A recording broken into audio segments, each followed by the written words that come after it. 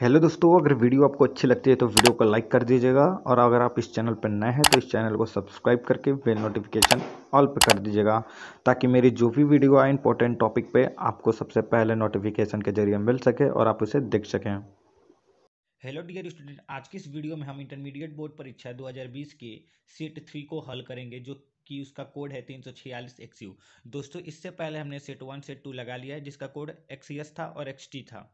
दोस्तों, उन दोनों का सोल्यूशन आपको मेरे ही यूट्यूब चैनल पर मिल जाएगा। आप मेरे यूट्यूब चैनल को खोलकर आप देख सकते हैं। दोस्तों, हम लोग अनसॉल्व पेपर सोल्यूशन कर रहे हैं केवल 2021 के लिए, ठीक है? इसमें दोस्तों आपको 30 परसेंट लेस करके सवाल बताऊँगा, जो इस साल नहीं पूछेगा, और ये क्लास ट्वेल्व का है, ठीक है? तो दोस्तों, यहाँ पे खंड अ में देखिएगा बहुविकल्पी है, वैद्युत विभव का मात्रक है, जूल प्रति गुलाम और जो इसका ख था, वो क्या हुआ है? इस पार्ट से हटा दिया गया है, क्योंकि कोविड नाइन्टीन की वजह से तो इसको यहाँ पे नहीं लिखा गया है। पहले ही आपको मैंने बता दिया कि तीस परसेंट लेस करके इस वीडियो में बताऊँगा, जो आपको इस साल नहीं पढ़ना है। इस वीडियो में बस वही बताऊँगा, जो आपको इस साल पढ़ के पेपर देना है और जो शत प्रतिशत आएगा। तो दोस्तों, अगर आप अधिक से अधिक नंबर पाना चाहते हैं तो इस वीडियो को पूरा अंत तक देखिएगा, एकदम अच्छे से बारीकी से, ताकि आपको हर एक सवाल समझ में आए आसानी से और इसको आप कॉपी में लिख सकें। दोस्तों, हम लोग का ग पूछता है दस ओम प्रतिरोध तथा दस हेनरी स्वप्रेरकत्व की एक कुंडली पचास वोल्ट की एक बैटरी से जुड़ी है। कुंडली में संचित ऊर्जा है। आपको संचित ऊर्जा बताना है। प्रतिरोध दिया है, दस हेनरी प्रेरक प्रेरकत्व दिया है और पचास वोल्ट दिया है।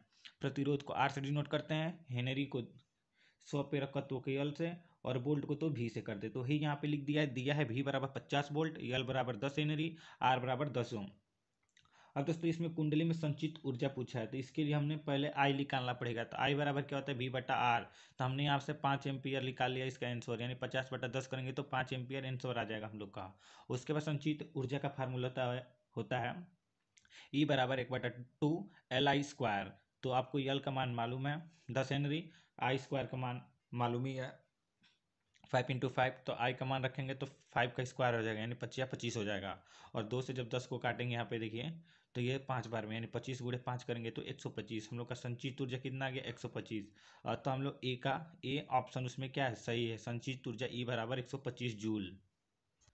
दोस्तों, हम लोग घ कहता है, कागज़ की सीट पर एक स्याही का धब्बा है।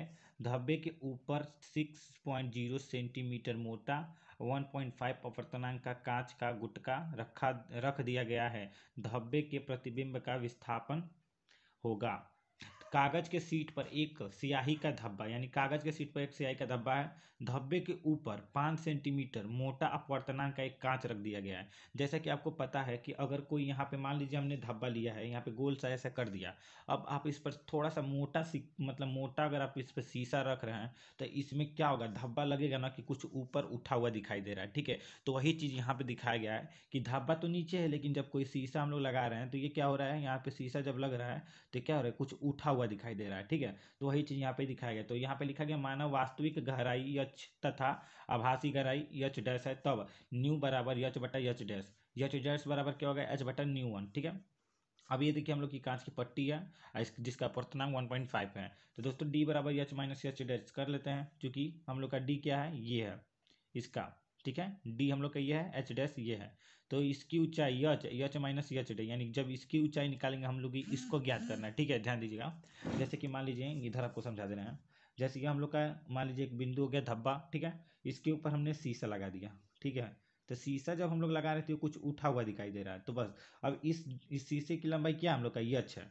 और ये हम लोग का क्या है? डी है, ठीक? डी यहाँ से यहाँ तक क्या हम लोग का? डी है। तो जब हमें ये ज्ञात करना है तो मान लीजिए इसकी जो दूरी है यच डैश है तो हम लोग यच में से यच डैश घटा देंगे तो वही डी बराबर मिल जाएगा, ठीक है? डी बराबर मिल जाएगा यच डैश में से यच घटाएँगे तो।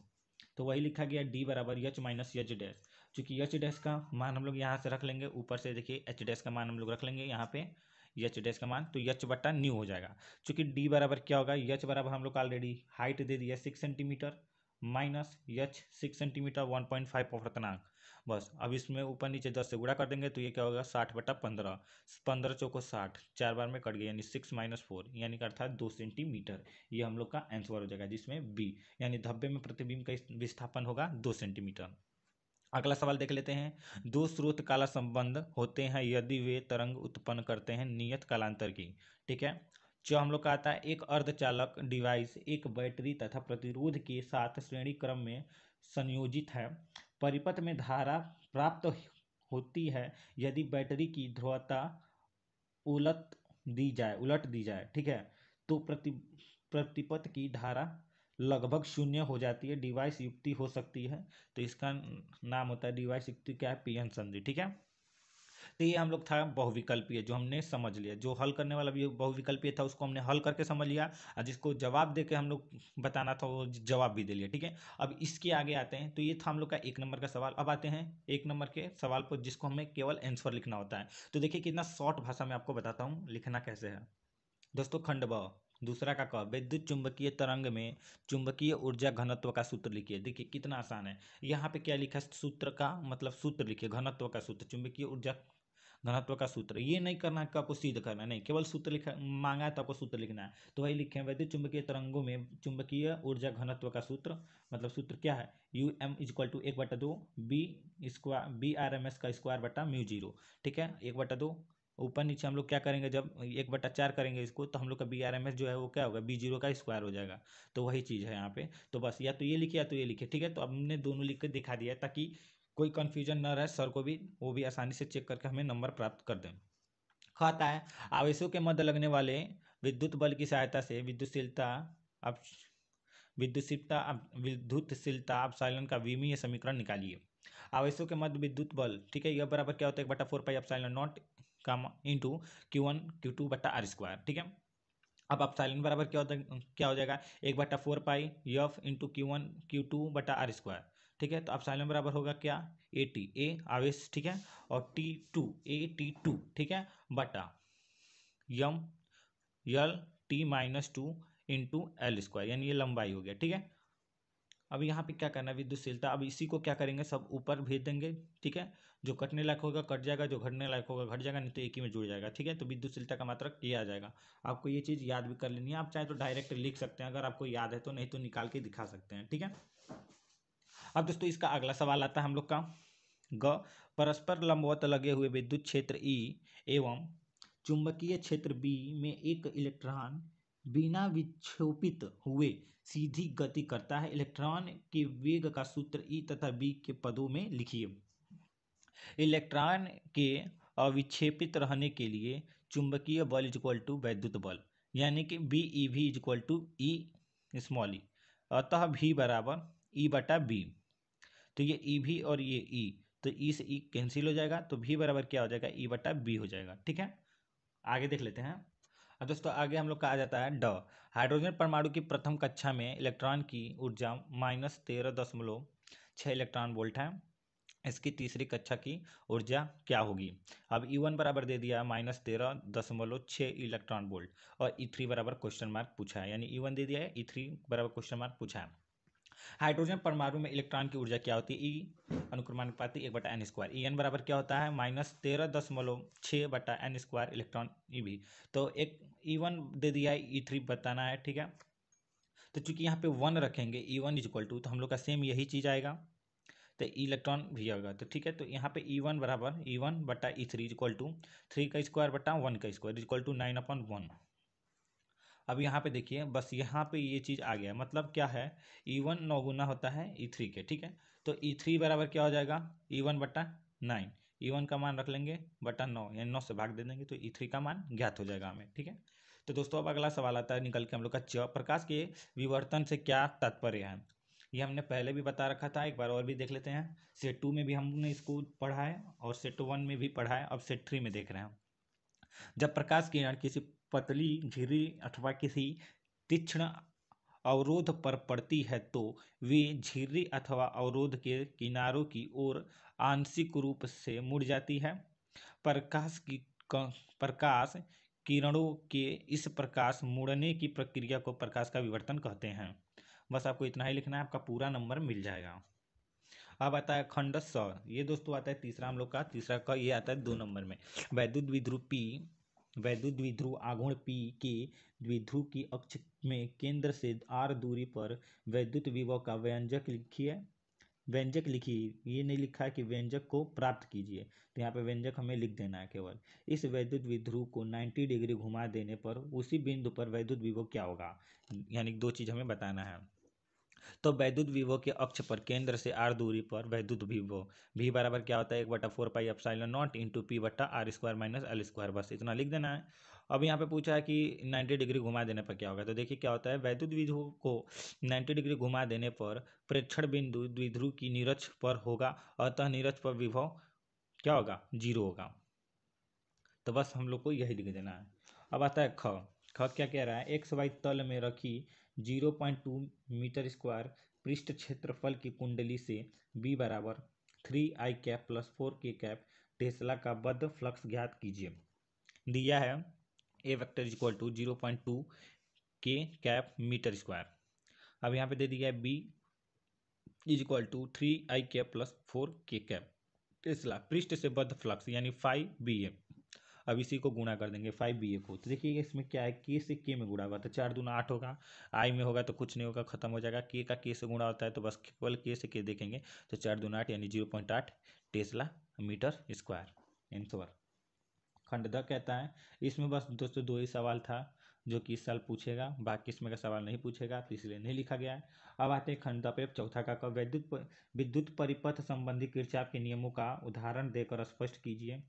तो दोस्तों, हमने ये किरचाप के नियम को हमने सेट टू में लगा रखा है। अगर आपने वो वीडियो नहीं देखा है तो पहले जाकर देख लीजिए। सेट टू सेट वन दोनों जाकर देखिए। अगर आपको पीडीएफ चाहिए तो नीचे लिंक है। लिंक पर क्लिक कीजिए। आसानी से हमारे वेबसाइट पर जाइए। वहाँ से पढ़िए कि आपको पीडीएफ कैसे प्राप्त होगा। उसके बाद आप पीडीएफ हमसे ले लीजिए। दोस्तों उसमें लिखा था कि किरचाप का नियम लिखिए और उदाहरण सहित समझाइए। तो दोस्तों उसमें हमने किरचाप का नियम बता दिया तो, तो नियम लिखने की बात नहीं है। तो अब उसका उदाहरण उसमें नहीं बताया तो यहाँ पे उदाहरण जान लेते हैं। तो दोस्तों पहला पहले नियम के अनुसार क्या आता है? I one plus I two is equal to I three plus I four plus I five होता है हम लोग का। तो हमने यहाँ पे एक चीज़ ले लिया ठीक है? तो आई वन बराबर पाँच आई फाइव बराबर फोर आई फोर बराबर टू आई थ्री बराबर थ्री आई टू बराबर फोर। अब यहीं पर हम लोग को सीध कर देना है। तो आई वन बराबर कितना दिया? है फाइव दिया तो फाइव लिख लिया। आई टू बराबर कितना दिया है? यहाँ पे देखिए आई टू बराबर फोर तो फोर लिख लिया। आई थ्री बराबर दे दिया थ्री थ्री लिख लिया। आई फोर बराबर दे दिया हम लोग का दो तो दो लिख लिया। और आई फाइव बराबर दे दिया चार तो चार लिख लिया। अब देखिए, पाँच, चार, नौ, यहाँ पे चार, तीन, दो, पाँच पाँच, चार, नौ। तो यहाँ पे नौ नौ, क्या हुआ? बराबर हो गया। तो हम लोग का क्या हुआ? सिद्ध हो गया, ठीक है? दूसरे नियम के अनुसार हम लोग देख लेते हैं। आपको एक ऐसे बना देना है। तो यहाँ पे दस वोल्ट, यहाँ पे पाँच वोल्ट हमने ले लिया। दो दो दो एम्पियर दो एम, दो ओम तथा तीन ओम का हमने यहाँ पे प्रतिरोध ले लिया, ठीक है? तो यहाँ पे अक्सर यहाँ पे पूछता है कि loop A, B, C, D, A में तो ठीक है तो two I A plus three I A is equal to minus E two plus E one. तो यहाँ पे चूँकि हम लोग जोड़ेंगे जब तो यहाँ पे क्या होगा? Five I A is equal to दस माइनस पाँच। तो यहाँ पे फाइव ए बराबर क्या हो जाएगा? पाँच। तो पाँच से पाँच कट जाएगा। चाहे पाँच से पाँच न काटिए, यहाँ पे आई ए का मान देखिए क्या हुआ है, एक एम्पियर लिए हैं। तो यहाँ पे एक रख लीजिए तो एक रखेंगे तो पाँच एक पाँच, यानी पाँच बराबर पाँच, ये भी प्रूफ हो गया। तो आपको ये उदाहरण याद करना है या फिर इसी बेसिस पे आप कोई उदाहरण लिख सकते हैं, ताकि आपको आंसर ला के प्रूफ कर देना है कि मतलब इतना बराबर आ रहा है। ठीक है? अब हम लोग का ख कहता है, तांबे में मुक्त इलेक्ट्रॉनों का घनत्व आठ दशमलव पाँच गुड़े दस के घात अट्ठाईस मीटर माइनस क्यू, यानी कि माइनस क्यू है। बीस सेंटीमीटर लंबाई तथा वन सेंटीमीटर माइनस क्यू अनुप्रस्थ प्रतिच्छेद के तांबे के तार से होकर प्रवाहित धारा का मान ज्ञात कीजिए। तार से चार वोल्ट की बैटरी जुड़ी है तथा तार में इलेक्ट्रॉनों की गतिशीलता चार दशमलव पाँच गुड़े दस के घात six metre square volt inverse, second inverse है। आइए अब इसको देख लेते हैं। दोस्तों अब इसमें दिया क्या था कि एन बराबर दिया था हम लोग का आठ दशमलव पाँच गुड़े दस के घात अट्ठाईस मीटर माइनस क्यू। और यल बराबर दिया था zero point two M metre, A बराबर दे दिया था एक सेंटीमीटर स्क्वायर, जिसको हमने मीटर में बदलाया था दस के घात ऋण चार मीटर स्क्वायर।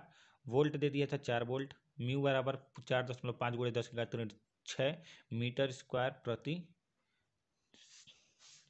प्रति वोल्ट सेकेंड, ठीक है? आई बराबर क्वेश्चन मतलब धारा आई बराबर क्या होता है? आई बराबर N E A V D अब चूँकि यहाँ पे यन, ई, ए वी डी के जगह पे क्या लिख सकते हैं? Mu, E. अब न्यू, ई ई बराबर क्या होता है? वी बटा यल तो बस यहाँ पे वही तीनों सूत्र का प्रयोग किया गया ठीक है? तो यहाँ पे देखिए वी डी को हमने चेंज करके क्या लिखा है? Mu, E. और फिर इसमें यू, ई को जो हमने चेंज किया है, इसका हमने लिखा है वी बटा यल ठीक है? तो यहाँ पे ध्यान रखिएगा। तो बस यही चीज़ लिखा गया आपको सारा का सारा मान रख देना है, पुट कर देना है, क्योंकि आपको सारे चीज़ों का मान मालूम है, यन का मान मालूम है, यल का मान मालूम है, ए भी हर एक चीज़ का। तो सारा का सारा मान जब पुट करेंगे तो आई बराबर हम लोग का आ जाएगा एक सौ बाईस दशमलव चार चूँकि हम लोग का आंसर है। अब ग आता है, चुंबकीय प्रवृत्ति तथा चुंबकशीलता से क्या तत्पर है? सापेक्ष चुंबकशीलता न्यू आर तथा चुंबकीय प्रवृत्ति एक्सएम में संबंध स्थापित कीजिए। अब देखिए चुंबकशीलता क्या होता है? चुंबकित पदार्थ के भीतर उत्पन्न चुंबकीय प्रेरण बी तथा चुंबकन क्षेत्र की चुंबकीय तीव्रता यच की अनुपात को उस पदार्थ की चुंबकशीलता कहते हैं। इसे न्यू से प्रदर्शित करते हैं। अतः न्यू बराबर बी बटा यच इसका मात्रक बेबर प्रति एम्पियर मीटर तथा न्यूटन प्रति एम्पियर स्क्वायर है। नर्म लोहे की चुंबक, चुंबकशीलता स्टील की अपेक्षा अधिक होती है। बस इतना ही लिखना है चुंबक चुंबकशीलता के बारे में। अब यहाँ पे सुग्राहिता या फिर चुंबकीय प्रवृत्ति लिख देना है। किसी चुंबकीय पदार्थ से उत्पन्न हुई चुंबकन तीव्रता आई तथा उसमें उत्पन्न करने वाले चुंबकीय क्षेत्र की तीव्रता यच के अनुपात को उस पदार्थ की चुंबकीय प्रवृत्ति कहते हैं। इसे एक्सियम यानी काई एम से प्रदर्शित करते हैं। तो काई एम आई बटा यच इसका कोई मात्रक नहीं होता है।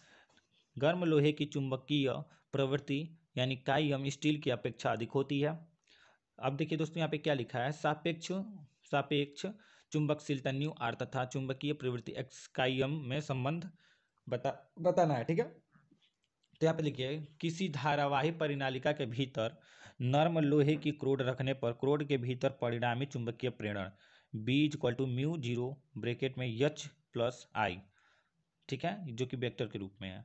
चुंबकीय प्रवृत्ति काई एम बराबर आई बटा एच होता है चूँकि I vector equal to chi M H. तो H chi M H vector तो क्या करेंगे? आई का मान उसमें पुट कर देंगे तो क्या होगा? संख्यात्मक रूप में बी बराबर mu zero H plus X chi M H हो जाएगा। तो एच हम लोग का इसमें आप कॉमन दिख रहा है तो बी बराबर क्या होगा? न्यू ज़ीरो एच ब्रेकेट में वन प्लस काई एम। परंतु न्यू ज़ीरो इक्वल टू क्या होगा? बी बटा एच। तो यहाँ पे देखिए जब बी बटा एच करेंगे तो क्या होगा? बी बराबर क्या होगा? एच बटा बी म्यू न्यू एच हो जाएगा। तो यहाँ पे जब बी की जगह पे न्यू एच रखेंगे तो हम लोग का क्या होगा? न्यू से न्यू क्या होगा? न्यू से न्यू कटेगा नहीं। यहाँ पे न्यू ज़ीरो है ही नहीं है, ठीक है?